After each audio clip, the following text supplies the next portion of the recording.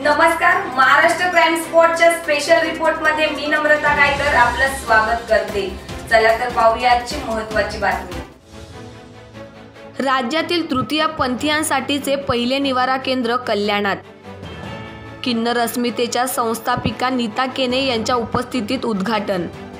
रस्त्यात लोकलमध्ये मंगती मागून जगणाऱ्या समाजातील उपेक्षित घटक समजल्या जाणाऱ्या तृतीय पंथीयांसाठी केंद्र सरकारच्या निधीतून महाराष्ट्रातील पहिले निवारा केंद्र कल्याणात सुरू करण्यात आले. कल्याण मलंग रोडवरील तमन्ना रेसिडेन्सी या इमारतीमधील तिसऱ्या व चौथ्या माल्यावरील या केंद्राचे आज उद्घाटन करण्यात आले. किन्नरांसाठी मागील अनेक वर्षांपासून काम करणाऱ्या किन्नर अस्मिता संस्थेकडून हे केंद्र चालविले जाणार आहे. किन्नर अस्मिता संस्थेच्या संस्थापिका नीता केने यांनी याबाबत बोलताना आजपर्यंत समाजातील उपेक्षित राहिलेल्या घटकाला समाजाच्या प्रवाहात आणण्यासाठीचा हा एक प्रयत्न असल्याचे सांगितले. माझं नाव नीता केणे आहे आणि किन्नर अस्मिता संस्थेची मी संचालिका आहे.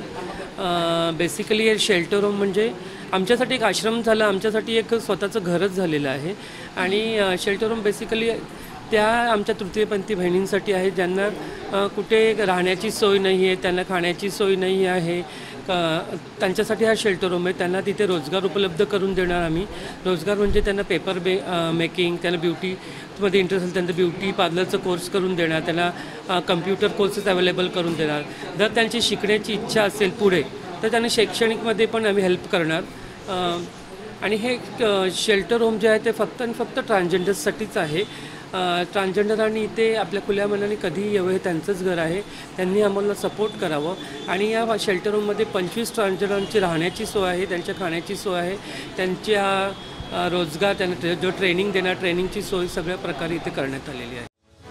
या समाजातील किन्नरांना उदरनिर्वाहाचे कोणतेही साधन नसल्याने त्यांना भीक मागावी लागते. नृत्य करून इतरांचे मनोरंजन करावे लागते किंवा शरीर विक्रय व्यवसाय करावा लागतो. त्यांना त्यांच्या पायावर सक्षमपणे उभे करण्यासाठी त्यांना रोजगार उपलब्ध करून देण्यासाठी निवारा केंद्राची संकल्पना राबविली आहे. या केंद्रात केवळ राहण्याची आणि जेवणाची सोय केली जाणार नसून समाजातील किन्नरांना शिक्षणाबरोबरच रोजगारसाठीचे प्रशिक्षण दिले जाणार असल्याचे त्यांनी सांगितले. हम लोग को जो फैसिलिटी मिल रही है शेल्टर होम से तो हम लोग को जो अच्छा लग रहा है, हम लोग को मतलब महाराष्ट्र सरकार का जो फैसिलिटी अगर हम लोग को देगी तो और भी अच्छा लगेगा। जो हम लोग को किन्नर लोगों को सुविधा चाहिए, जो सोसाइटी में हम लोग को ये चाहिए तो उस तरह से हम लोग को महाराष्ट्र सरकार से अपेक्षा है कि उस तरह से हम लोग को ये दें।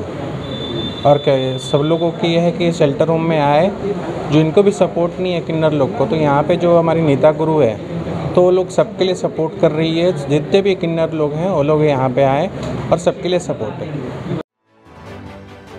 इतर राज्यात किन्नरांना शिक्षणासाठी रोजगारासाठी कर्ज उपलब्ध करून दिले जाते पेन्शन दिली जाते. मात्र महाराष्ट्रात हा समाज उपेक्षित राहिला असून सरकारने इतरांप्रमाणेच किन्नरांना देखील सन्मानाने जगण्यासाठी मदत करावी अशी मागणी त्यांनी केली.